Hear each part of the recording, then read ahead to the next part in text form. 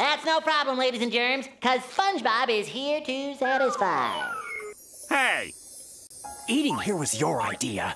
I like to call this little number striped sweater. The best time to wear a striped sweater is all the time.